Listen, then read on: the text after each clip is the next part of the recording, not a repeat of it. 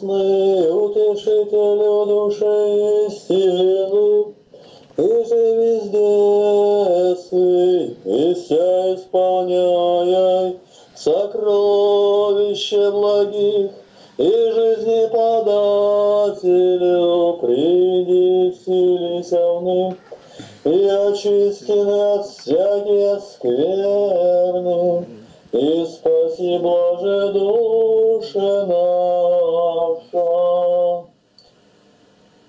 Господи, благослови наше занятие, не дай нам уклониться ни направо, ни налево от истинного понимания божественных слов Твоих. Прибудь с нами, сохрани нас в любви и согласии.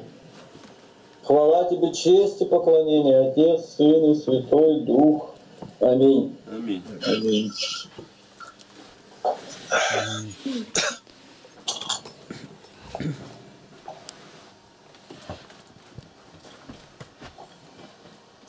Во имя Отца и Сына и Святого Духа. Аминь. Послание к римлянам, э, 7 глава, 15 стих. Ибо не понимаю, что делаю, потому что не то делаю, что хочу, а что ненавижу, то делаю. Так, ну у нас стих начинается с ибо, значит нужно впереди прочитать немножко. Итак, с 13 стиха. Итак, неужели доброе сделалось мне смертоносным? Никак. Но грех, оказывающийся грехом, потому что посредством доброго причиняет мне смерть, так что грех становится крайне грешен посредством заповеди. 14 стих. Ибо мы знаем, что закон духовен, а я плотян, продан греху. И 15 стих еще раз. Ибо не понимаю, что делаю, потому что не то делаю, что хочу, а что ненавижу, то делаю. Толкование.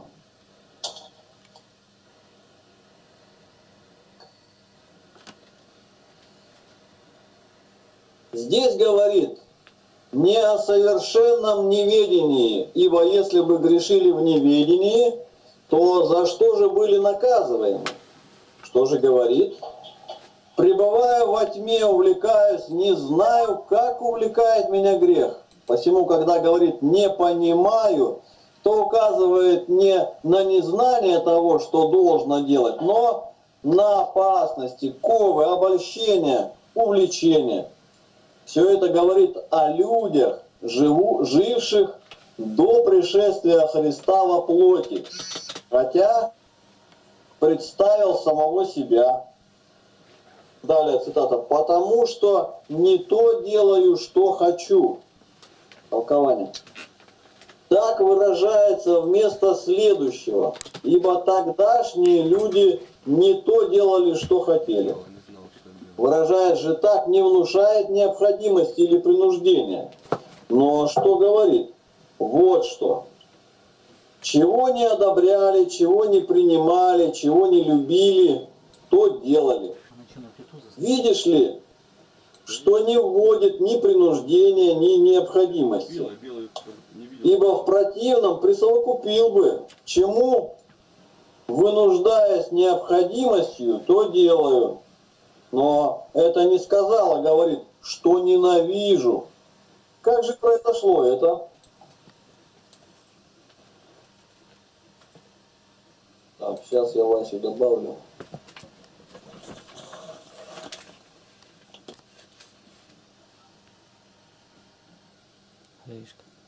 По увлечению, по немощи, которую имели от преступления Адама. Эту-то немощь и не мог уврачевать закон. Хотя и говорил, что должно делать. Ее уврачевал пришедший Христос. Итак, здесь во всем, что сказал и что нам намерен сказать, целью апостола была та, чтобы доказать, что естество человеческое пришло в неисцелимое состояние, и что его никто не исцелит, кроме Христа, которому слава и ныне, и во веки. Аминь. Толкование закончено. Ну, желающие порассуждать на эту тему, задавайте вопросы.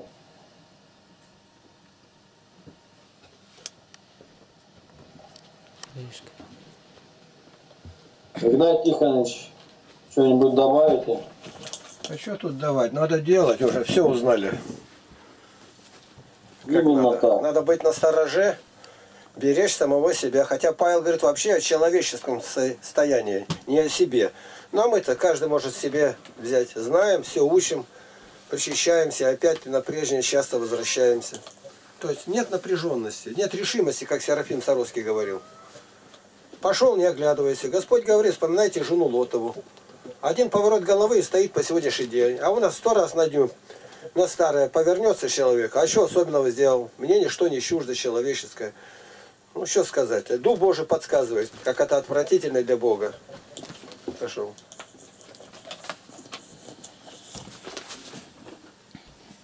Благодарим 16 стих.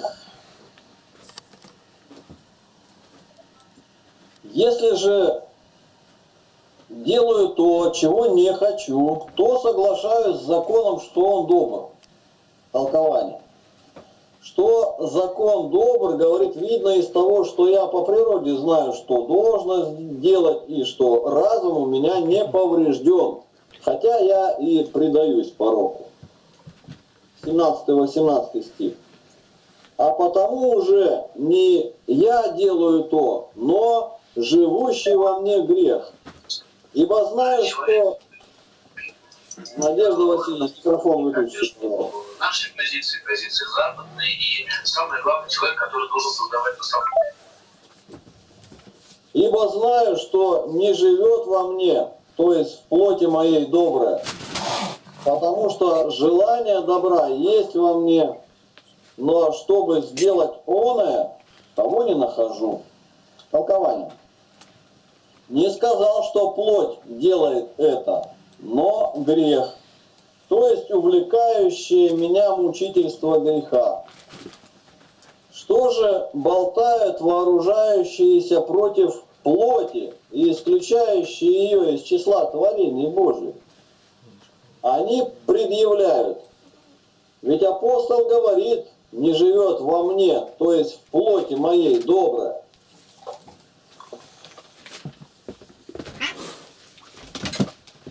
Выслушай, в каком отношении высказал он это? Человек состоит из двух частей – души и плоти.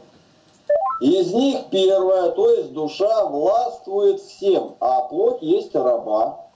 Посему выражение «не живет в плоти моей доброе» значит не состоит во власти плоть, но во власти души. То есть берет душа, то и делает плоть.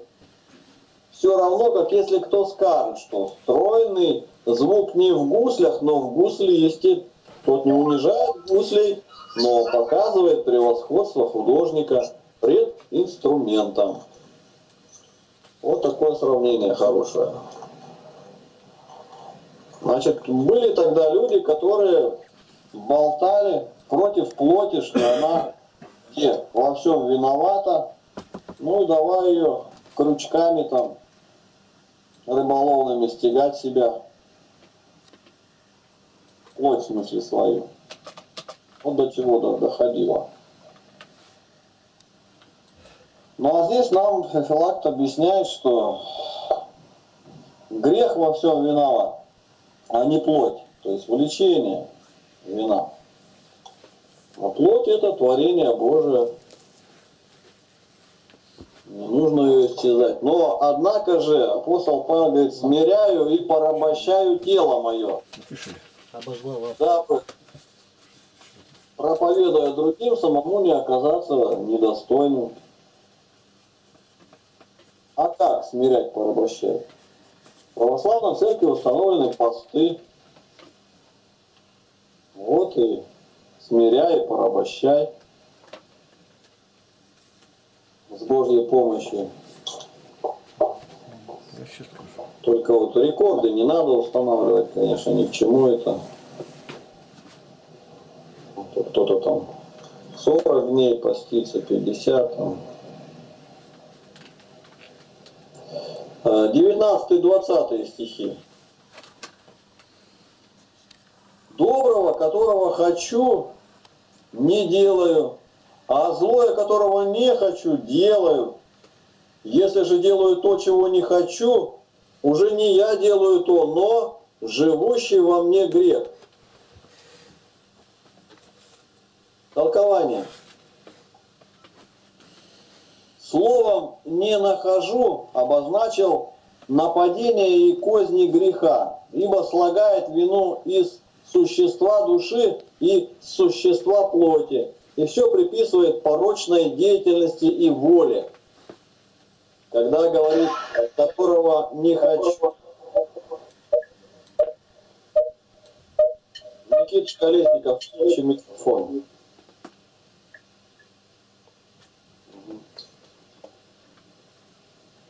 Когда говорит, которого не хочу, то слагает вину с души. А когда говорит, уже не я делаю, то слагает вину с тела. То же делает зло. Грех, который, по словам Иоанна Златоуста, есть порочная и грехолюбивая воля. А эта воля не есть создание Божие, но наше движение. Воля сама по себе есть творение Божие – но воля, направленная к известной цели, есть нечто наше собственное, действие нашего произволения. Выше сказано, что такое грех, то есть мучительство греха, увлекающее ум наш через удовольствие. Вот. Вопросы? Нету пока вопросов. Или все знаете, или ничего не понятно. Два варианта. Наверное, все, все уже понятно, я так думаю, потому что много уже об этом говорим. Тогда идем дальше. 21 стих. Итак, я нахожу закон, что когда хочу делать доброе, прилежит мне злое толкование. Выражение неясное, в нем чего-то недостает. Надлежало бы сказать, итак, когда хочу делать доброе, нахожу себе в законе защитника, однако не делаю доброго, потому что прилежит мне зло. Смысл настоящего места такой. Познание добра изначало вложено в меня. Нахожу также, что и закон защищает он, и хвалит – и я желаю делать добро, но вовлекаюсь в какой-то другой силой, и мне прилежит зло. То есть действие зла не уничтожается во мне. Впрочем, святой Иоанн Златоуст, истолковав настоящее место как неполное, внушает, что его можно понимать и иначе именно так. Нахожу, что закон дан не другому кому, но мне, желающему делать доброе. Ибо закон есть закон только для желающих делать доброе, как желающий того же, чего желает и он. Это уяснится из последующего. Вопросов есть? Нет? Игнатий Тихонович, желаете что-то? Ну вот смотри, делая не я, но живущий во мне грех. Представим, человека задержали за явное нарушение закона. Большая статья. А он говорит, а это не я делал, это грех во мне. И адвокат такой же, все силы прилагает, чтобы доказать, это не он, а живущий в нем грех. Он не виноват, вы его отпустите. Он воровал, там взятки брал. И... Ну и что брал? Так это не он. То есть вот это применить в жизни никак нельзя. Он говорит о внутренних переживаниях, когда человек желает и не может. И какая причина, что не может? Продан греху. Вот здесь определяется, родился человек свыше или нет. Вадим ли он Духом Божьим или нет. Для рожденного свыше это так просто. У меня близкий человек был один, он историк, в Одессе заканчивал. Ну и уверовал, Его как-то в магазине встретил товарищ. Ну как, Гена? А я уверовал. Что уверовал? А во Христа. И что? У меня другая сейчас жизнь. А он знал, что Гена этот матерился, будь здоров. А матерки? Я задумался, три месяца прошло, я даже ни разу не вспомнил. Просто полностью вышло. А неверующий не может ничего сделать с этим. Поэтому вот это нам нельзя применить в жизни нигде. Это рассуждение для того, чтобы взор подняли на Христа, который нас освобождает от этой немощи. И делает совершенно невероятное. Возьмите вера, надежда, любовь. Девчонки, 8, 9, там 12 лет. Их пытают, мучают, ничего не могут сделать. Почему? Дух Святой взял их и повел. Вот так. Так, продолжаем. Римлянам 7 глава, 22-23 стихи. Ибо по внутреннему человеку нахожу удовольствие в законе Божием, но в членах моих вижу иной закон, противоборствующий закону ума моего и делающий меня пленником закона греховного, находящегося в членах моих. Толкование. Я знал добро и до закона, и когда нахожу оное, изображенным в письменах, хвалю закон и соглашаюсь с ним по внутреннему человеку или по уму своему. Но вижу иной закон, то есть грех, который назвал законом потому, что обольщаемые им покорствуют ему и боятся покинуть его, как закон, который должен быть исполнен. Закон этот противоборствует закону ума моего, то есть закону естественному. Выше назвал его внутренним человеком, а теперь ясно называет его умом. И одерживает верх, даже делает меня пленником, побеждая и естественный, и письменный закон. Каким образом делает пленником?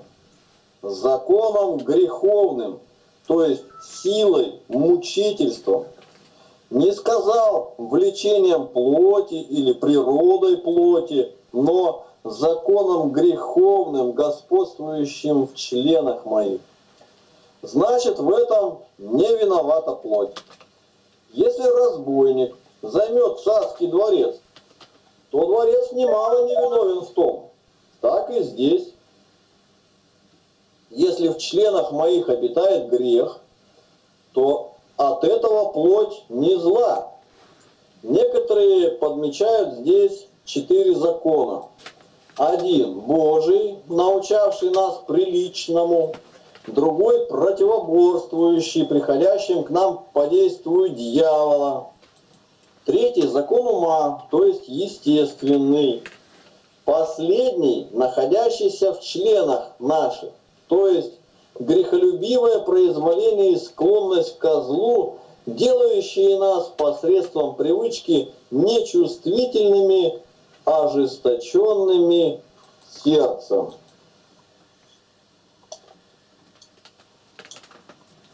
Вопросы?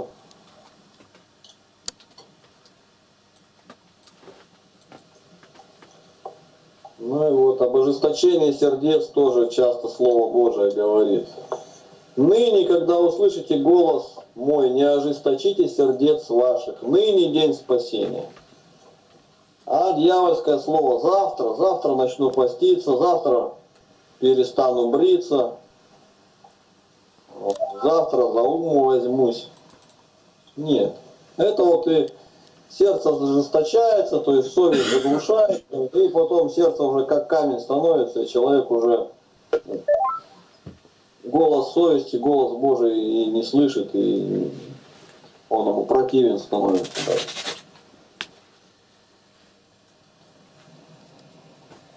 Так, идем дальше или поэтому что-то есть? Игнатий Николаевич, есть что-то по этому ответу? Тут все ясно. Тут все ясно.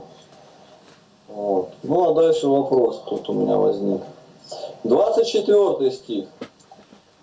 Бедный я человек, кто избавит меня от всего тела смерти? Толкование. Закон естественный стал недостаточен, недостаточен. Закон писанный оказался бессильным. Тот и другой победило мучительство греха. Откуда же будем надеяться на спасение? Кто избавит меня от всего тела смерти, то есть повинного смерти? Ибо тело, сделавшись подверженным страданию вследствие преступления, стало от этого исподручным греху. Скажет кто-нибудь, если тело было сподручно греху, то за что были наказываемые грешники до пришествия Христова? За то, что им даны такие заповеди, которые они могли исполнить и находясь во власти греха. И вот у меня вот сразу вопрос на это слово «могли исполнить, находясь во власти греха». И вопрос, а зачем тогда Христос, если могли? Это какое-то толкование друг, самого себе противоречит. Ну, понятно по смыслу, что вся речь его направлена на том, на, чтобы указать на, на Христа. И тут же говорит, что им, то есть, я так понял, людям, жившим до Христа, э, были даны такие заповеди, которые они могли исполнить и находясь во власти греха.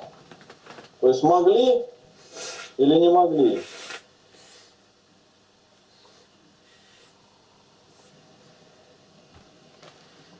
А если они могли, зачем Христос? А если не могли, то тогда ну, понятно. Вот он дальше вверху скажет. Скажет кто-нибудь, если тело было сподручно греху, то за что были наказываемы грешники до пришествия Христова? Ну это и понятно, но раз они грешники, они и были наказаны.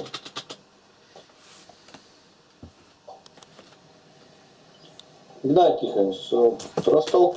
Тут растолковано. За то, что им, людям, были такие заповеди, или в письменном виде, или в совести, которые они могли исполнить, могли, и находясь во власти греха.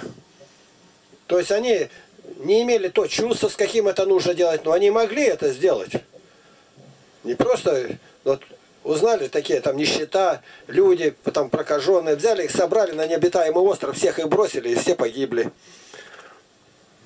как это по-христиански. И нашелся один священник, который себя решил с ними оставить. И теперь работал с ними, пока сам не заразился. Видите, что закон, надо понимать этот закон, и это очень трудное место. Почему апостол Павел неоднократно говорил, что это не дано понять.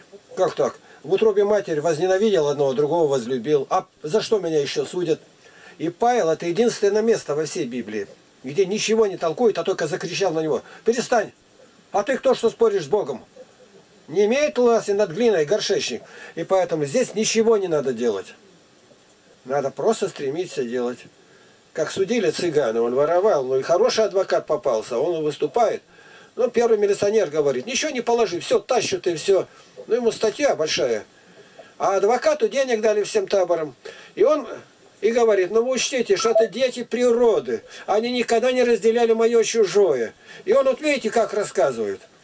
Что он не воровал. Он шел, какие-то кочки, прыгал через кочки. Одна кочка поднялась и понесла его, это конь.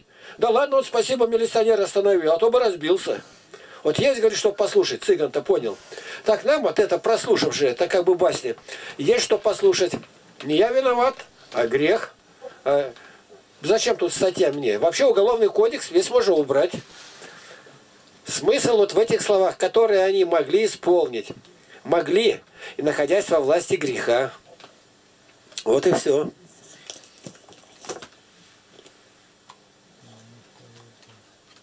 Спаси Христос.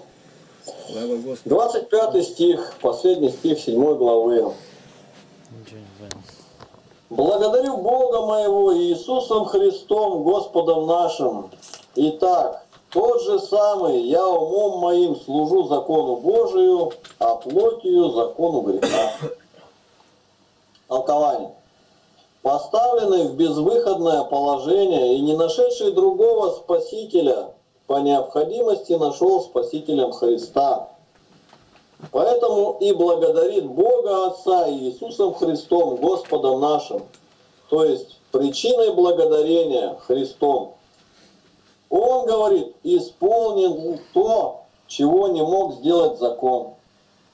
Он избавил меня от немощи плоти, укрепив ее, так что она не состоит уже под мучительством греха.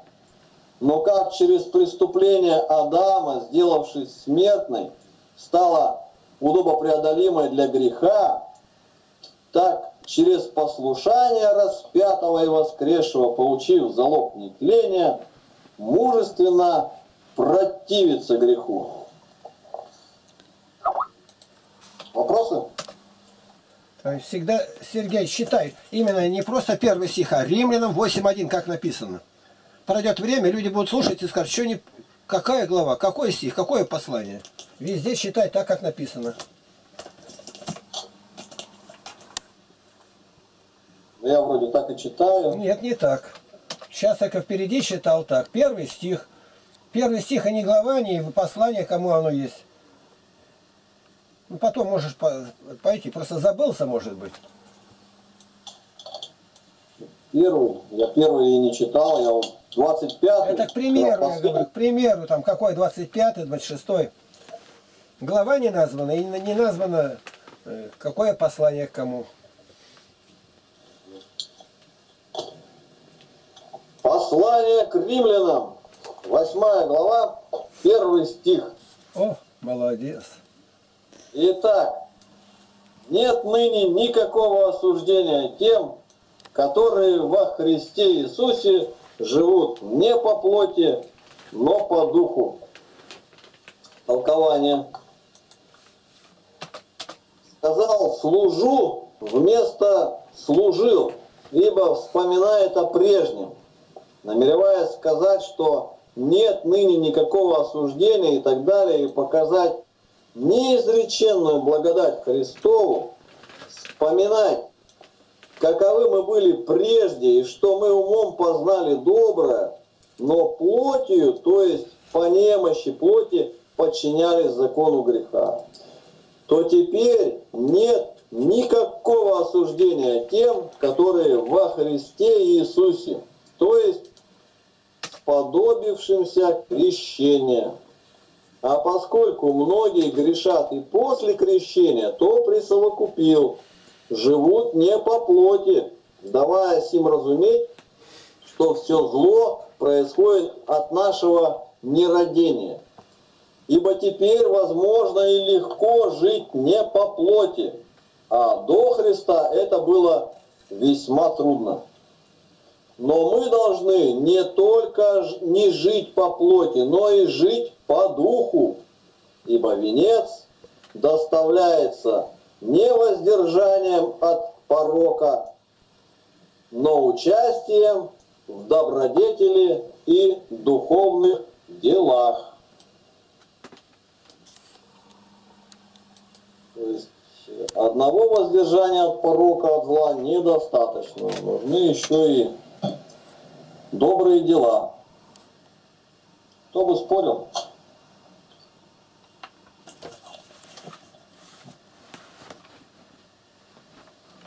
Геннадий Тихонович, говорите? Тут одно слово. Жить по духу. Православным это совершенно непонятно. Жить по брюху, это понятно. И вот благочинный был, у него власть была как у епископа. Войтович отец Николай Павлович. И он вышел и говорит проповедь против нас. А мы тут же стоим. Подумайте, братья и сестры, у нас завелись люди, соблазняют других и говорят, жить надо по духу. Да кто когда жил по духу? Только он зашел в алтарь. А там священники молодые были, они занимались, мы их хорошо знали, они говорят, батюшка, так это Павел говорит в 8 главе к Римляну, да вы что, опять теперь настучат архиерею. А в другом месте староста вышел, говорит, люди появились, которые призывают жить по Евангелию, дорогие братья и сестры. Да кто, когда жил по Евангелию, вы сами подумайте, что это придумали? Вот это проповедь. Нас это касается. даже все это чуждое. Вот если вы по этому месту пройтись, каждому, то все бы стали э, судить только одно, а как? Духовное рождение, водительство Духом Божиим. И ты это сделаешь без всякого напряжения. Совершенно открыто тебе будет и не потянет туда. Вот как я говорил про Геннадия Яковлева. А ты матерился, я вспомнил, нет, три месяца ни разу. Я не говорю, даже не то, что я забыл.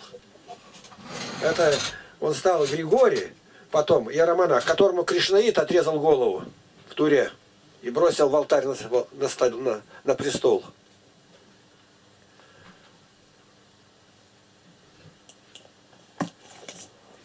Идем дальше.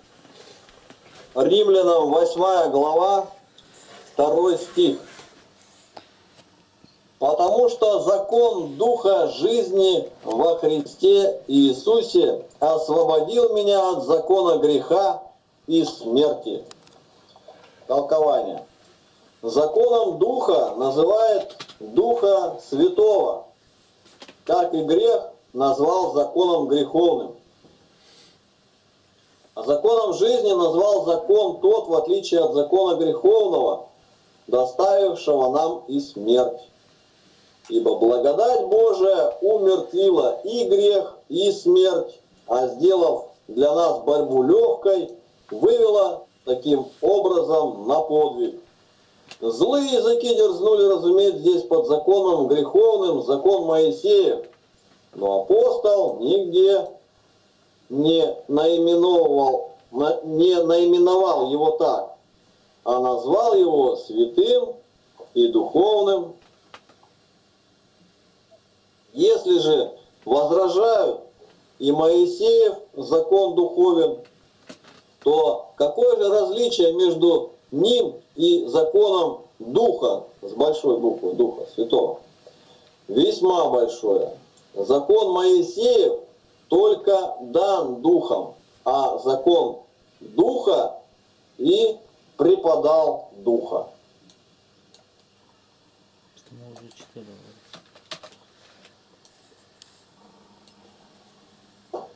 Ну вот, закон духа, я вот никогда такие слова раньше не встречал. И вот здесь нам разницу даже, то есть закон духа преподал духа, то есть благодать дара Духа Святого в крещении, батюшка, когда мажет, и залог дара Духа Святого. Крещаемые имеют этот дар. То есть сам Дух по закону, он сам себя как бы преподает нам, получается, так что. Вопросы?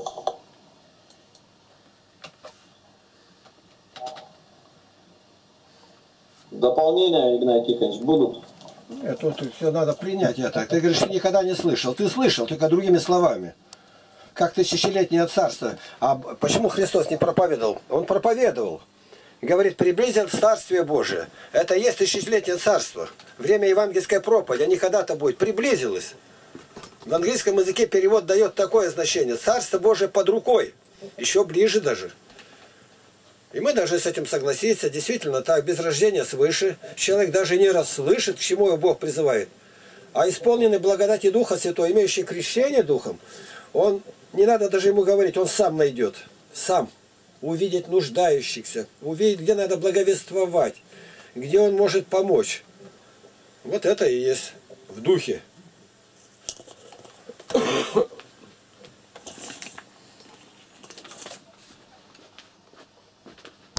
Послание к римлянам святого апостола Павла, 8 глава, 3 стих.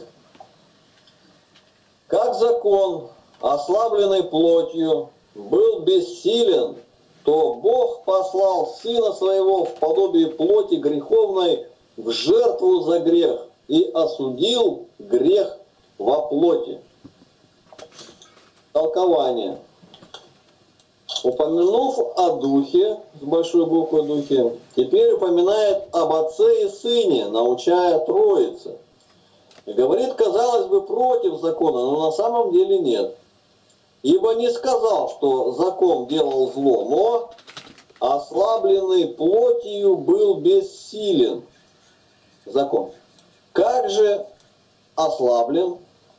Плотью, то есть мудрованием плотским – хотя закон и поучал, однако не мог победить чрезмерно плотское мудрование.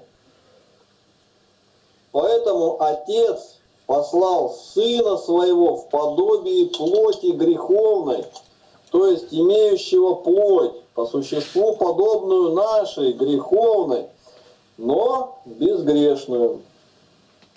Так как упомянул о грехе, то и прибавил в подобии, ибо Христос принял не иную плоть, но ту же самую, которую имеем мы, и ее оставил и увенчал, осудив грех в воспринятой плоти и показав, что плоть не греховна по естеству.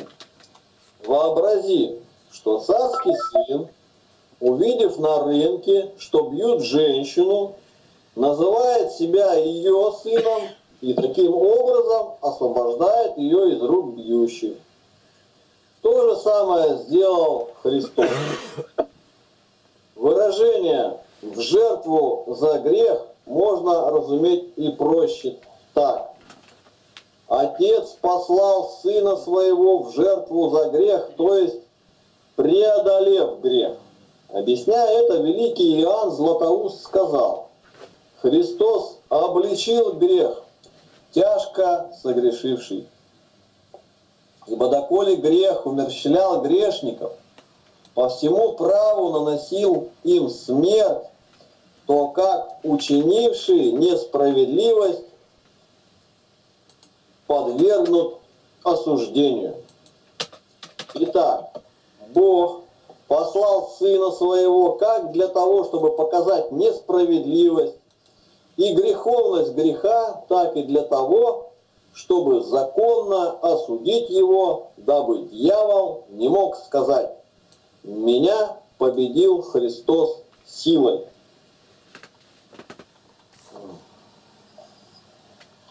Вопросы? Вот вы там сказали, не оставил, а осветил, потому что вы там слово неправильно прочитали. Вот светил, вот там. А вы сказали, оставил. Христос осветил плоть, да? А я сказал оставил. Ну, прошу прощения.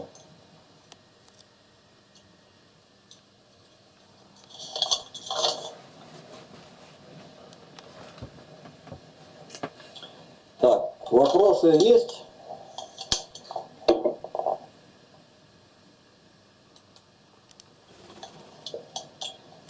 Вопросов нет. Игнатий Тихонович, добавите здесь?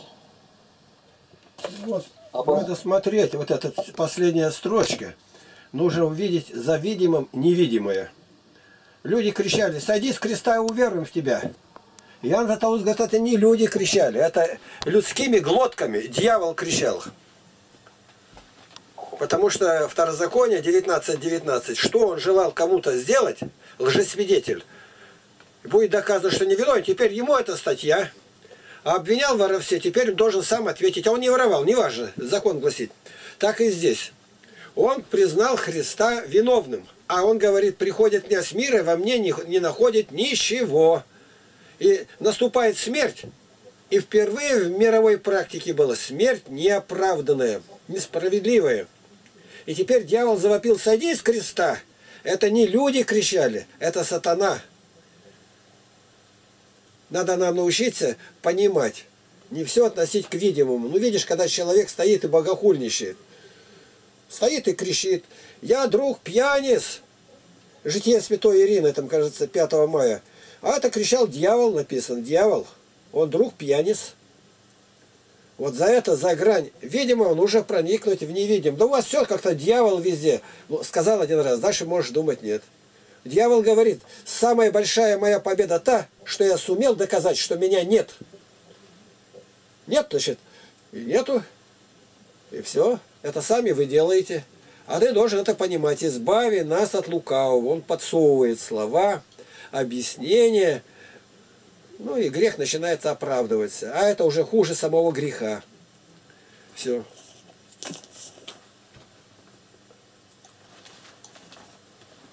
Послание к римлянам, 8 глава, 4 стих. Чтобы оправдание закона исполнилось в нас, живущим не по плоти, но по духу. Толкование. Дабы не сказал кто-нибудь, если польза для меня от того, что Христос одержал победу в той плоти, какую воспринял, говорит, для тебя именно и есть она, победа. Оправдание, говорит, то есть цель закона, ибо закон имел целью оправдать человека, исполняется в нас. Чего закон домогался и не мог сделать, то сделал для нас Христос. Его дело было вести борьбу, а мы воспользовались победой. Поэтому мы и не будем грешить, если не будем жить по плоти. То есть мудрствовать плотское. Чего, впрочем, то есть не, не э, чего, впрочем, то есть не мудрствовать плотское недостаточно, а должно быть у нас, как и выше сказано, еще мудрование духовное. Поэтому присовокупил, но по духу. Ибо Давид говорит, не только уклоняйся от зла, но и делай добро. Псалом 33, 15. Ибо услышав, что Христос даровал нам победу, мы отнюдь не должны падать, но должны сохранить благодать бани водной. Об этом говорится Ефесянам 5.26. Потому что теперь борьба для нас легче, нежели была она прежде. Ну а в чем легче? Почему легче? В том, что впереди прошел Христос и показал нам пример.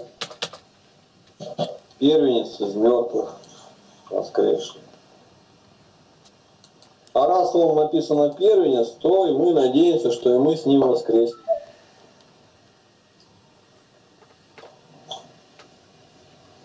Вопросы?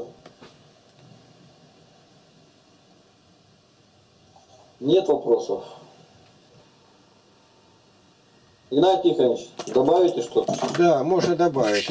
Мы должны быть внимательны к слышанному и к виденному. Уметь задним числом признать свои ошибки. Вот сейчас неизвестно пока какая причина, там 154 упал, 92 человека. Из них было 67 хористы, плясуны из военного оркестра Александрова. И они весь мир объездили. И ни у кого даже мысли не было. Летят в страну, которая нам враждебна. Да мало ли что будет. Якоб знал это, разделил на два стана. Если один погибнет, другой будет. Но это ясно дело. 60 с лишним человек. Это больше половины хора. Хора, который весь мир знал. Он очень большой популярностью пользовался. И все, нету. Нету. Так вот сегодня надо бы маленько посарапать себя, как Солженицын говорит. Прочисти себя по хребту. Зачем столько насадили? Летит самолет, сказать, вертолет. Больше ста человек вертолет набирает. Я таких и не видал. И садятся туда четыре генерала. Вообще. Ну так это Чечня. Избили. И он падает не куда-то, а прямо на минное поле. И кто вылез оттуда, полз, живой был. И те подорвались. Четыре. А чтобы генералам-то сделать это, сколько времени надо было? Да как это можно было так? расточительно пользуется этим запасом. Ну, я не военный, я просто знаю, что это военную высшую академию надо кончать, должен быть опыт. И в один вертолет затолкали их и грохнули. Ну и все уже забыто, как будто никогда не было. И вот когда мы это считаем, мы должны увидеть предведение. А люди, которые раньше были живущие по плоти, о плоском помышляют, они знали это? Единицы знали. А почему? Ну, в духе истине поклонников Бог ищет. В духовное были, а в истине не было. В образах было, в ягненке. А агнец Божий. В духе истине Бог ищет поклонников. Я говорю, а что такое в духе истины? Ну вот у нас журнал «Братский вестник», там брат проповедует и говорит, закрой глаза, вот видите колонны, теперь мы не видим. Я говорю, при чем тут колонны? Внутренний человек простирается к Богу. Я к Богу пришел. Истина в Новом Завете, в Ветхом Завете истина была затушевана.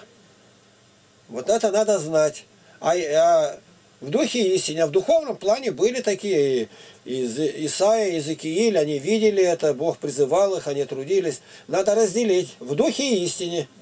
Я практически не слышал никогда, чтобы растолковали. А как вы знаете? Да никак я не знаю. Святые истолковали. Не надо гордиться, говорить, гордыбачить. Бог дал учителей, дал апостолов, дал толкователей. И нужно смиренно признать, признать и двигаться вперед. Другого не будет. Вот мы сейчас считаем, выше этого ничего нет. Да тут просто так. Ну вот и прими как просто. Отошел.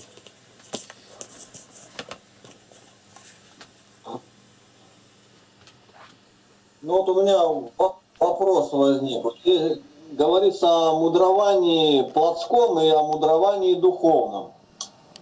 Можно ли э, мудрование плотское назвать ересью, а те, кто мудрствуют по плоти, и назвать их еретиками? Если происходит из этого, истекает ересь, она называется ересь. Тут другое, по плоти. Выгода. Человек, ехать не ехать, он начинает смотреть, а сколько будут платить. Ну это правильно, надо заранее договориться. Но не все в этом. Ты думай о том духовно. Там храма нету. Тебя отправили в Норильск. Ты молился там? А какой молился? Там храма нету. Ну вот в этом все и есть. А Геннадий Фас, когда рассказывает, как у него было, родители его искали где, ну они менониты, искали где есть свое собрание единомышленники. И поэтому заложили такую крепкую веру. Ты должен в первую очередь искать единомышленников. Вот кто думает по Теряевку переезжать, им говорю, самое ценное в Потеряевке все верующие. У нас нигде мы не мудрствуем. Мы принимаем, как написано. Вот толкование блаженного Феофилакта, Златоуста, каноны. И в этом мы все и есть. Ничего не придумывать. Услышал, поверил, исполнил, отошел. Еще вот же написано «дела плоти известны», и двоеточие, и перечисляется, и там стоит ереси. А еретики же, они же по Библии, они как бы духовно рассуждают. И как вот различить вот это э, мудрствование плотское и ересь, значит, она отличается, да? Они же тоже думают, что они духовно рассуждают. И очень много писаний мест приводят. Ну, Но Угу. Может быть, из-за корысти они это делают, чтобы пожертвования собрать, поэтому называется это плотским мудрованием. Мне пришлось жить рядом с соседом одним. Он говорит, а почему, собственно, я должен Матфею верить, Марку? Я сам хочу написать. Я говорю, центральный Красный проспект, это в Новосибирске, от нас находится полтора километра. Бог может за ночь построить, чтобы линия подошла сюда и остановка к Колодому. Может, но надо ли об этом молиться? Так можно, то есть я всемогущество Божие признаю. Он может сделать так, чтобы через комнату проезжали трамвайные пути. Сел только, открыл, сел и поехал. Но надо думать, стоит ли, или ты искушать Бога решил. Что духовное означает вечное? Плотское временное. Вот когда нужно человеку что-то делать, я просто вывод уже сделал. Нужно четыре вопроса задавать. Первый. Что я ищу в этом? То есть жениться решил, переехать, работу переменить. Что? Духовное или телесное? Вот как раз этот вопрос. И этот вопрос еще вечное или временное я ищу здесь. Второе. Что об этом говорит Святая Библия? Конкретно по любому вопросу. Третье. Что об этом говорит моя совесть во мне? Ну, тут совесть бывает сожженная ничего не скажет. И третье, не принесу ли я кому-то соблазн и вред? Четыре вопроса. И теперь, если ты ответил положительно все, ну, и у тебя есть духовник, пойди к священнику и посоветуйся. Вот таким путем, я считаю, ты безошибочно достигнешь той вершины, куда тебя Господь зовет. Не доверяй себе. Без совета дело расстроится. Обязательно. Да они священники такие, а всех ты не знаешь. Ты молись, и Бог через него ответит. Мне иногда приходилось отвечать и говорят, а вы вот так ответили. Я ответил. Я даже не помню, как ответил. Так вы же помните все. Но вот этого я не помню. Ну, говорит, на магнитофон записано, посмотрели. Действительно, я сказал. А почему? Так я откуда знаю? Я таки... Иероним Стридонский сказал. Я цитирую святых отцов, никогда их не держал в руках даже. А мне другой говорит, а это из Ефрема Сирина. Не знаю, я просто доверяюсь Богу. Это ответственность большая. А почему мне дано, а тебе не дано? Да откуда я знаю? Ты надейся на Бога, и Бог тебе даст. Бог не желает, чтобы дети его были слепцами, ощупью по стенке, как слепые ползали. Вот и все. Вот дальше ответы дается 8,6 к римлянам. Так. Пятый мы вроде еще не прочитали. Римлянам 8 глава 5 стих. Ибо живущие по плоти о плотском помышляют, а живущие по духу о духовном. Толкование. Предавшиеся неумеренному рабству плоти всегда помышляют о плотском и никогда не размышляют о божественном. А кто всецело покорился духу, с большой буквы, те и мыслят и делают все духовное. Римлянам 8.6. Помышления плотские суть смерть, а помышления духовные – жизнь и мир. Толкование. Мудрованием плотским называют грубейшее помышление, заимствовав для него имя от худшей части человека. Ибо плоть сама по себе не имеет собственного мышления, но мудрование плоти есть помышление грубое и вещественное, которое иной может назвать умом, помышляющим о плотском. Так и мудрование духовное есть ум, помышляющий о духовном. Последнее рождает жизнь, противоположность смерти, которую рождает мудрование плотское, а также мир, в противоположность тому, о чем далее говорится. Так что далее говорится или здесь какие-то вопросы есть? Давайте прочитаем. Римлянам 8 глава 7 стих. Потому что плотские помышления суть вражда против Бога. Ибо закону Божию не покоряются, да и не могут. Толкование. Помышление духовное рождает мир, а помышление плотское вражду против Бога. Значит, помышление о плотском поднимает руки на Бога? Нет, говорит, но о нем говорится, что оно есть вражда против Бога, потому что оно непокорно закону его. Не смущайся, однако, слыша, да и не могут, а понимай слова эти как должно. Мудрование плотское не может покоряться Богу, пока останется таким. Это тоже значит, что сказать. Блудница не может быть целомудренной. Иначе как, иначе как могли бы... Сергей, микрофон. Иначе как могли бы сделаться из злых добрыми сам Павел, разбойник и бесчисленное множество других порочных людей, если невозможно была бы перемена. Так и в Евангелии Господь сказал, не может дерево худое приносить плоды добрые. Евангелие Матфея 7.18. То есть пока остается худым. Итак, не будем помышлять о плотском, но будем помышлять о духовном, чтобы иметь мир с Богом, дающим нам Духа, через которого легко для нас все, что было трудно для исполнения во времена закона. Вопросы по этому отрывку? Давай, Володя. Ну я вот э, на последнюю строчку толкования, начну, включите его, я прочитаю. То, что там говорится, что... Подальше или поближе? Очень подальше. А дальше, да? Э, Что последняя строчка толкования сейчас говорится о том, что во время закона было трудно исполнить, а сейчас нам легко это исполнять. Это примерно такое сравнение, вот как э, когда, например, ты захотел жену, одну взял, может допускалось даже до 10 там жен. Ну там, э, как у Давида было, там у многих других. Одну, две, как у Авраама было две жены. Вот. а во времена сейчас Нового Завета мы уже можем не только э, нас допускается одна только жена, ни в коем случае даже две не, э, не допускается, а может и вообще жить без брака, то есть под благодатью Божией и одеть одним, как монахи вот живут. То есть э, сравнение только, также не убей. Допускалось убийство, а в Новом Завете люби врагов своих. Хотя в том, ну, в Старом Ветке- Ветхом Завете допускалось убийство врагов. Володь, тебя в камеру не видно тоже. Ага. Вот он идет. А, вот, ага.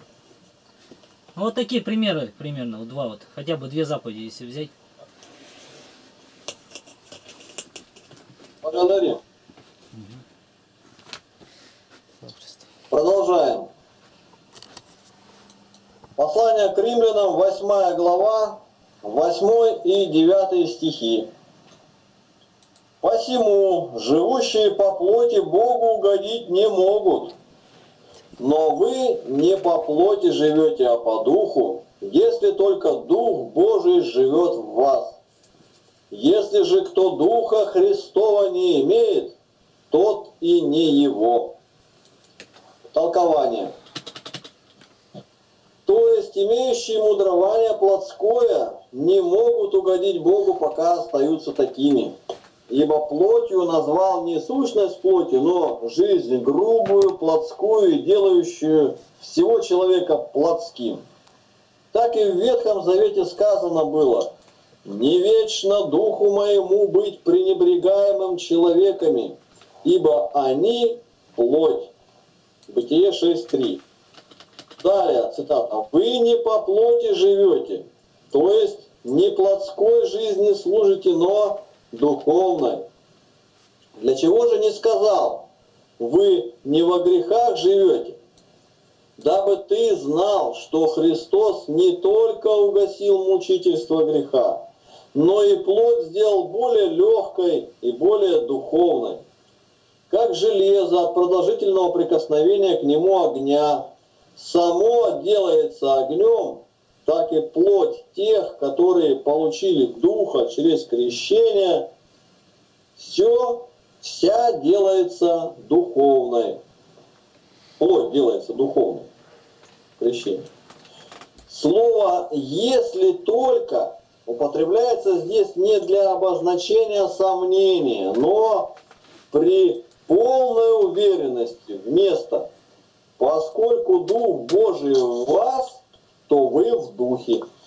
Не сказал «если же вы не имеете Духа Христова», ибо такое выражение весьма неприятно, но говорит неопределенно.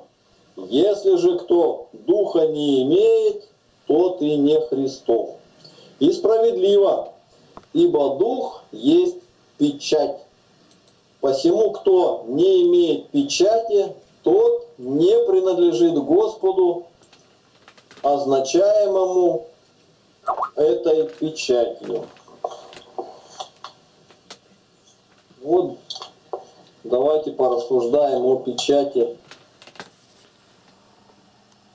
дара Духа. Когда крещение принимаем, священник говорит печать дара Духа Святого в момент крещения. А обязательно он именно в этот момент приходит, или может раньше, или позже. Ко всем ли он приходит?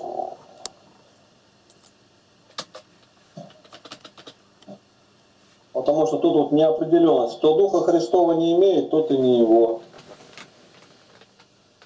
У нас крещенных 80% населения, 0,3% что-то знают о Слове Божьем.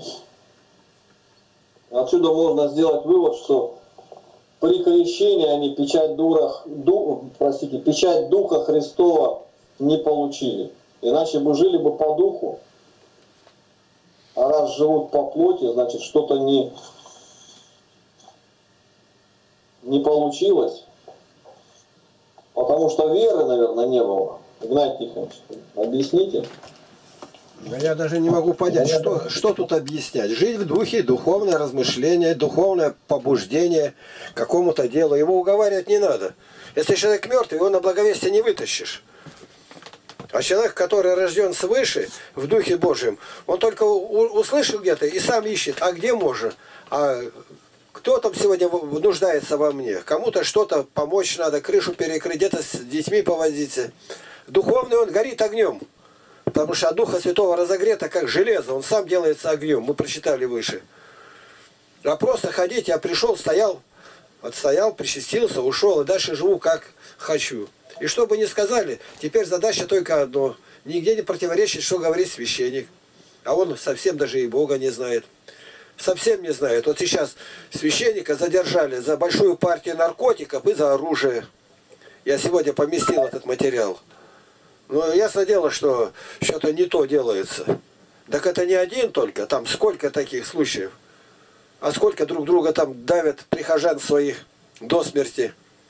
Два, ты смотришь, больше человек задавил на такой скорости ехал. Какой он духовный-то? Он враг, волк в овечьей шкуре. Вот и все. Это на практике надо проверять.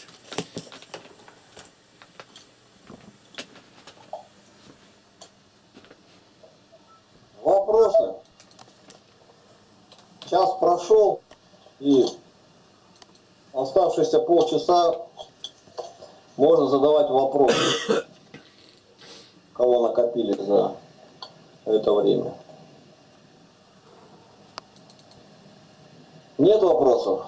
Тогда идем дальше.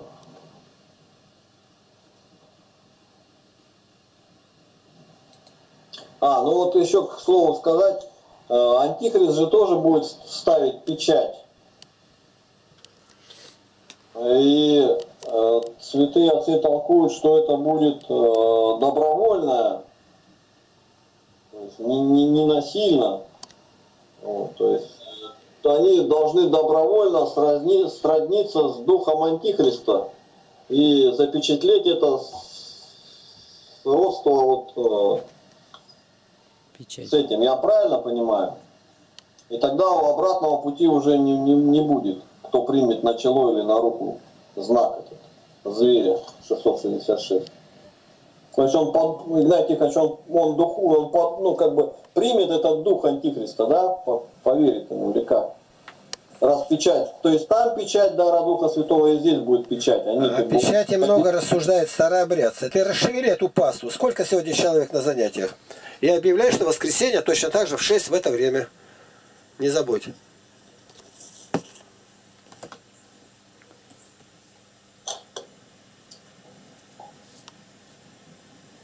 Во- Вопрос я задал, слышали, нет, можете ответить. То есть, э, или, или мне к старообрядцам обратиться. то Ну, можно к ним обратиться. Они боятся антихриста. У них там большие диспуты. а Будет печать видимая или невидимая. Боятся А, там вот. паспорт брать. Ну, не все. Есть такие, которые тихоновцы, подпольные, катакомные. А как надо? Ну, надо смотреть, что. Церковное начале на эти вопросы все ответили. Ответили правильно. Правильно. И там Крестьянкин, кто Гурьянов, Николай, патриарх, говорит об этом. Вот, его там Алфеев, Иларион. То все это отвечено. У нас на форуме это все стоит. Повторяться даже не надо. Дух Божий покажет. Насильно никому не поставят. Это добровольное отречение от Христа. И это запечатлевается знаком отречения. А не просто, и мне надо купить, а я не могу тебе печать шлепнули. И... Нет, так не будет. Именно отречением. Какой-то документ, очевидно, подписан будет. Я не верю во Христа. Ну и дальше уже слова, которые говорят его враги. Силой князя Бесовского и прочее. Хула. Тут уже так, умри. Сегодня рассуждать легко. Самая трудная смерть от голода, говорит Ян Затаус, и самая легкая утонуть. Ударилась, утонула, и все. Вся команда утонула. Все, давай.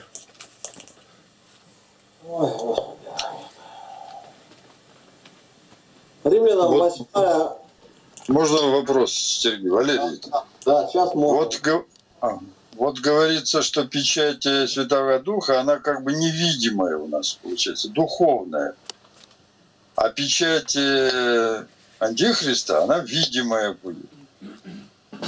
Ну, я не знаю, как ше- шестерки или что-то на лоб тебе поставят или еще. А, может быть, она тоже невидимой будет? Ну, написано, написано начертание, то есть э, можно лазером начертить невидимо, оно потом проявляется, когда сканер под- подносишь.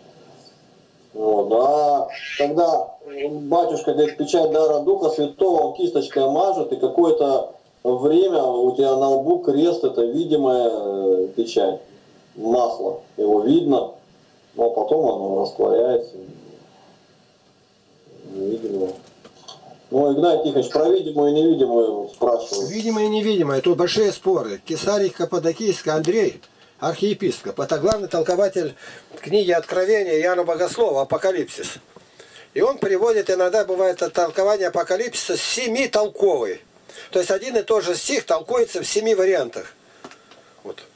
И видел я белый конь там. А что белый? Белый это значит святость. А другой, это поделался, принимает вид ангела света. Совершенно противоположно. Одно так, и лев из колена Иудина. Лев из колена Иудина. Христос. А дальше дьявол, как рыкающий лев, ищет кого поглотить. Одно и то же слово, совершенно в противоположном смысле. Но надо по контексту уже и смотреть, о чем здесь речь идет. И спорят, видимое будет или невидимое. И Прем Сирин настаивает, видимое. Андрей Кисарик Подокийский говорит, невидимое. Меня спрашивают, а как вы считаете? Не знаем. Может быть, она будет видимая или невидимая, но отречение духовное. Обязательно отречение от Христа. А сейчас что невидимое? Там на костной ткани, на, на челе, на руке сделали. Показал там, где идешь. Видно, сколько у тебя на счету денег. И все. Деньги не нужны будут. Подошли мы уже практически вплотную. Так что великие грядут испытания. Будут люди, которые ничего этого не примут. Они обречены. А кто-то уйдет где-то в тайгу, в ущелье, в милотях козьих кожах будут скитаться. Ну, для верующих дни те сократятся. Три с половиной года только будет. Это величайшая скорбь во Вселенной. Все.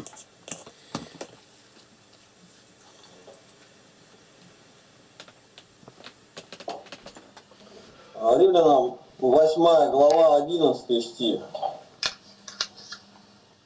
Если же дух того, с большой буквы оба слова, кто воскресил из мертвых Иисуса живет в вас, то воскресивший Христа из мертвых оживит и ваши смертные тела духом своим, живущим в вас.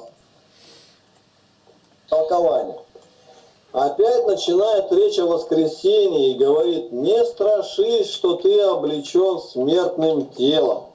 Ты имеешь Духа Божия, воскресившего Христа из мертвых. Как Он его воскресил, так и тебя, несомненно, воскресит, даже оживотворит. Воскреснуты те, которые не имеют Духа, но они воскреснут в наказание а имеющие духа воскреснут в жизнь. Поэтому-то не сказал апостол воскресить тело, но оживит живущим тебе духом. Не сказал жившим, но живущим, остающимся до конца. Ибо, видя в тебе духа своего, Бог не восхощет не ввести тебя в брачный чертог, подобно как если не будешь иметь духа, несомненно, погибнешь, хотя и воскреснешь. Итак, умертви тело, чтобы жил в тебе дух, а через него и дана была тебе жизнь.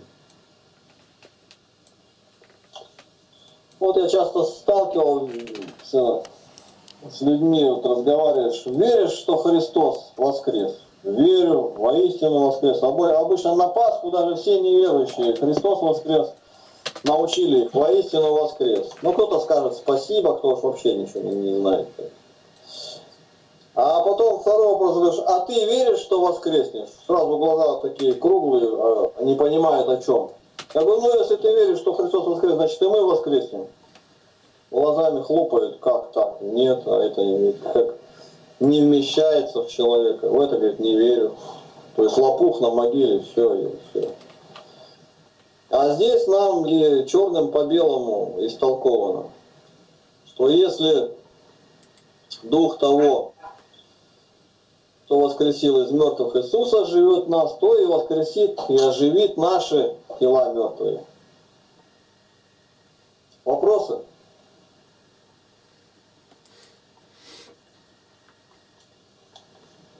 Игнатий Тихонович, добавите что-то здесь?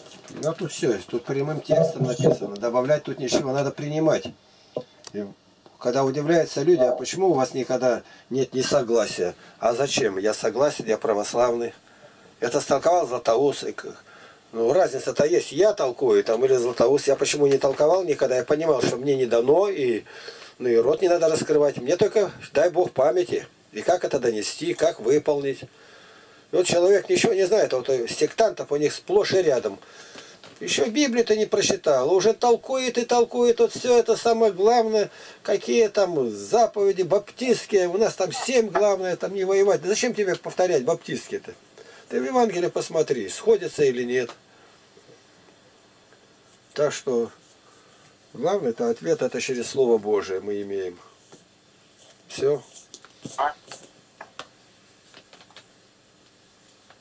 Римлянам 8 глава, 12 стих.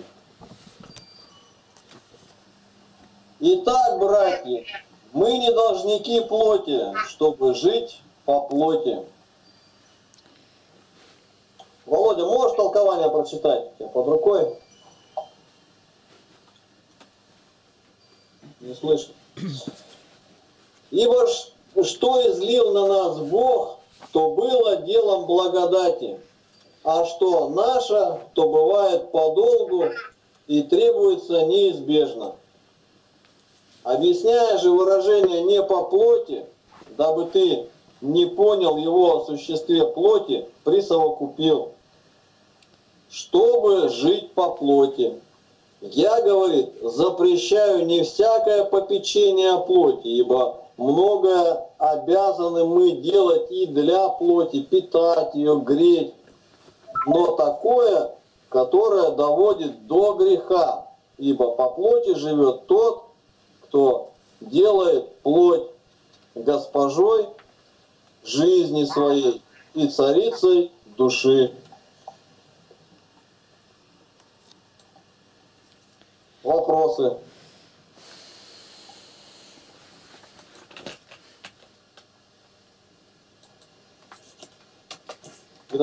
Что-то добавите? Ничего не добавляю. Я только думаю, как это запомнить, как выполнить. Я вообще здесь не могу ничего сказать, потому что это самые трудные места во всей Библии. В Библии, не только в Новом Завете. Предведение, промысел Божий. И он рассуждает, и мы должны как-то проникнуть в таинственный смысл через Слово Божие, через толкование, и ничего нигде не добавить, ни одного слова. Тогда будет видно, что мы православные.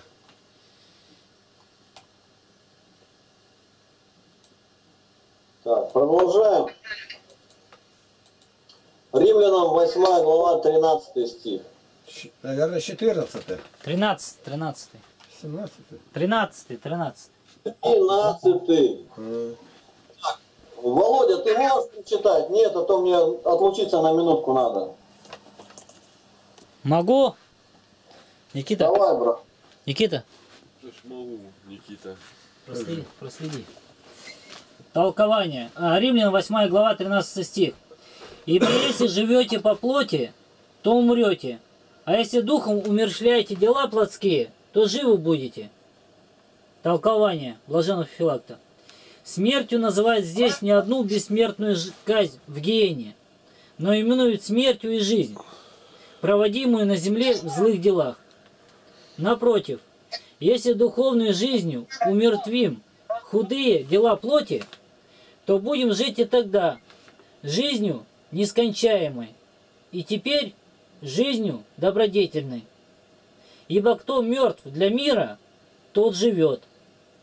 Заметь же, что не сказал «тело умершляете», ибо это человекоубийство, но дела плотские, очевидно порочные. Ибо следует умершлять не просто зрение или слух, ибо видеть или слышать есть естественное плотское дело, но употребление их во зло.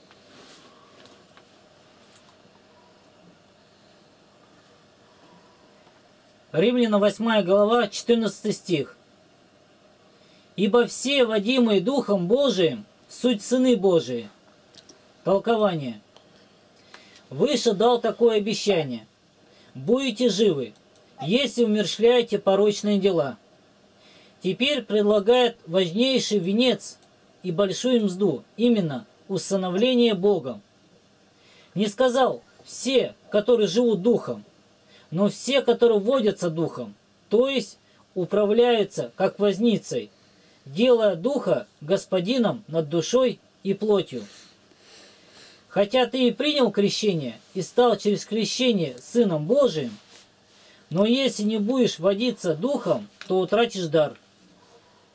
Ибо хотя все мы получили Духа в бане воздерж- воздержания, но водиться им во всю жизнь требуется от нас, как наше дело.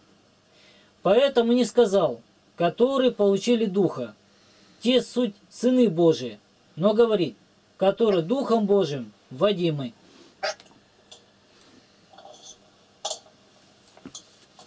Так, ну и комментарий на слова. Если не будешь водиться духом, то утратишь дар. Какая еще была воздержание? Комментарий Игнатия Тихоновича Лапкина. Как показала статистика и тщательное ис- исследование, из 300 крещенных моченых в храм ходит только один. И то от случая к случаю. Почему не устрашили этими словами Феофилакта этих прозелитов? Двоеточие. Но если не будешь водиться духом, то утратишь дар. Что же понаделали лживые пастыри, совершенно не научив тех, кого допустили до крещения, и даже внешне совершив его абсолютно неправильно? За такое их крещение, мочение они все достойны извержения из сана. Далее цитата. Если кто, епископ или пресвитер, совершит не три погружения единого тайнодействия, но одно погружение, даваемое в смерть Господню, да будет извержен. Ибо не говорил Господь, смерть мою крестите, но, идя, научите все народы, крестя их во имя Отца и Сына и Святого Духа. 50-е апостольское правило. И еще одна цитата. Хотя ты и принял крещение и стал через крещение Сыном Божиим, но если не будешь водиться духом, то утратишь дар. Эти слова относятся в первую очередь к самим архиереям, двоеточие. Если не будешь водиться духом, то утратишь дар. Разве эти слова не в силах ныне поразить страхом Божиим всех священников? Еще раз. Но если не будешь водиться духом, то утратишь дар. Все эти слова выделены жирным шрифтом крупно и подчеркнуты. Служение Богу – это не только нахождение в храме, но и вся наша жизнь. Вот о чем нужно исповедовать священникам, если, что если кто не живет в Духе Святом, тот навеки погиб.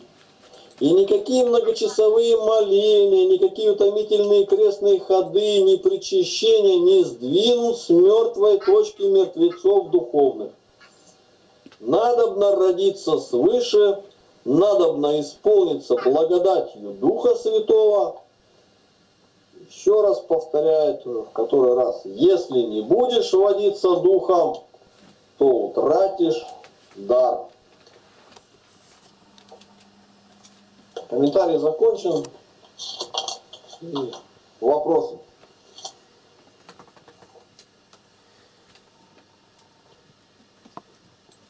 Расскажите, пожалуйста, вот в Откровении 3 глава, 12 стих – Иисус говорит, что у него будет новое имя. Как это понять? 3.12 Откровение.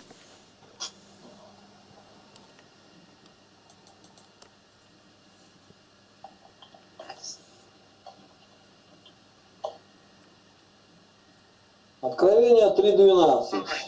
Побеждающего сделаю столпом в храме Бога моего, и он уже не выйдет вон, и напишу на нем имя Бога моего и имя града Бога моего, нового Иерусалима, нисходящего с неба от Бога моего, и имя мое новое. Так. Игнат Тихонович, растолкомите толкование, нет? Что за имя мое новое? Ну, Какое имя? Говорит, открылся он с каким именем? Имя любви? Другого имени мы не знаем. Хотя у Христа много имен. Ну, Я путь, истина и жизнь. Никто не приходит к Отцу такой существенно. Это его истина, жизнь, это его имена. Бог есть любовь. Это на совершенно новое учение, которое сразу пос- поставило себя против всех законов. Не сопротивляйся злом, злу. Ударят в одну щеку, поставят вторую. Все. Ни одной войны бы не было. Мы ударили там тебя, что-то сделали, ну а дальше-то что получилось? Так они бы поработили, рабами были, да мы всегда рабы. Об этом даже говорить не надо. Христианство обречено было на поражение. Тем более в конце ему дано вести войну со святыми и победить. Ни одна религия не говорит так откровенно о своем поражении, как христианство. Ничего. Это все предначертано было Богом. Толковать тут вообще ничего не надо. Надо жить и ждать ежедневно. Не в этот ли день придет Господь. А придет, это значит, я или умру, или еще что-то. Не только мировые катаклизмы. Вот летели люди, ничего, ударилось, и все. На той стороне 92 человека. Незаконченные дела, обещания, непримирение. Все. Притом абсолютно все и навсегда. Все. Понятно, имя любовь, значит. Любовь никогда не перестает. Да. Вот у мусульман у них даже Бога отцом нельзя называть. Я осмелилась назвать его отцом. Это есть такая книга специальная. Это жена оставленная министра в, в этом Исламабаде, там Пакистане. Она обратилась к Богу, как там этих сразу убивали мусульмане их. И она сумела все-таки с внуком бежать в Америку. Я осмеливаюсь его назвать отцом. Отцом. Она никогда не знала, молилась. И вдруг он отец. Отец, это какое чувство? Мы просто привыкли к этому. Отче наш, сущий на небесах. Это близость, это забота. Мы его дети, он не покинет. Он обязательно нас выведет на пространное место. Сергей, можно толкование прочитать? На этот стих Писания. Откровение. Ну, я, да, я нашел, тоже хотел прочитать. А, Читай. Ну, ну, ну давай, ладно. Я только тут не- самую суть прочитаю. последний абзац. И имя Да, мое новое. Да. И напишу Да. на нем имя Бога моего. То есть Откровение 3 глава 12 стих. В сердце такого столпа будет ведение имени Божьего. И сам Христос напишет на таковом имя Бога. Сейчас многие пишут на себе имя Божие и носят его. Но не Бог писал. Иные сектанты даже иначе именоваться не хотят, как Церковь Божия, а себя де- дети Божии. Но не писал Христос на ересях и еретиках имени Божия. Или вот идут фашистские солдаты с надписью на бляшках своих ремней. С нами Бог. Кто писал на них имя Бога? Нет, только на побежда- побеждающих позор греха и держащих венец славы, на побеждающих ересь и держащих венец правды, на побеждающих тяжкий грех смертоубийства и держащих венец жизни. На них только напишет Христос имя Бога своего, то есть имя Отца Небесного. Не то важно, чтобы человек написал на себе имя Бога, а то, чтобы написал его Христос. Спаси Христос.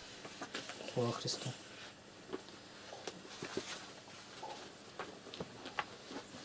Ну а дальше-то что не, не- дочитал? Во- Вопрос-то о имени. Последний абзац. И имя мое новое. Толкование. Еще одно третье имя начер- начертывается произнесенную рукою на челах победителей. Из Священного Писания мы знаем много имен Спасителя. Иисус, Христос, Иммануил, Назарей и другие. Но никто не знает того имени Христа, нового и чудного. Сокрыто оно еще от нас в тайне. Спрашивал Иаков, противоборствовавший у реки Иовок Богу об имени этом. Но он сказал, на что ты спрашиваешь о имени моем? Оно чудно. Бытие 32, 29. И Маною, отцу Самсона, судьи Израильского, было также сказано, Маною, что ты спрашиваешь об имени моем? Оно чудно. Судей 13.18. И вот это таинственное и чудное, новое имя Христа, ныне на земле никому неведомое, будет начертано на искупленном христианине филадельфийце. Имя Отца, города и Сына. Вот награда. Истина, сказал Христос любящим его. И мы, Отец и Сын, придем к Нему и обитель у Него сотворим. Евангелие от Иоанна 14, 23. Аминь. Так, ну что, время подошло к концу. Слава Христу. Давайте молиться и до пятницы. И еще раз напоминаю, в воскресный день в это же время мы собираемся третий раз к ряду на неделю. Милости просим. Сообщите об этом своим друзьям, особенно кто живет в Московской области и в будни работает. А в воскресенье в 2 часа по Москве он свободен и может поучаствовать с нами. Так молимся.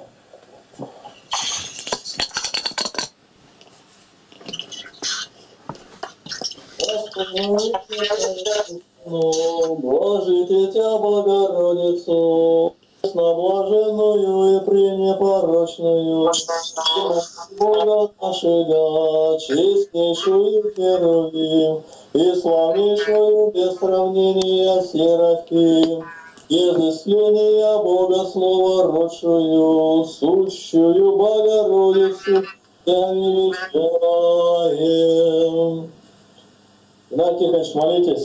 Отец наш Небесный, мы просим во имя Господа нашего Иисуса Христа, закрепи в нас слышанное. Ты знаешь, как мы в этом нуждаемся. Чтобы мы не высокоумствовали, а принимали толкование святых отцов. В этом наша жизнь и смирение. Слава Тебе за этот вечер, который провели мы у ног Твоих. Если в чем погрешили, Ты прости нас, Владыка. Тебе, Боже, слава за все, Отец, Сын и Святой Дух. Аминь. Аминь. Аминь. С Богом. Спаси Христос всех.